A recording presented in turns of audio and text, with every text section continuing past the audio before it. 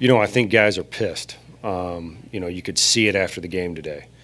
Uh, you know, I felt like the whole game, they, you know, everybody thought we were going to win the game, and then we don't. And then I felt like everybody was was mad.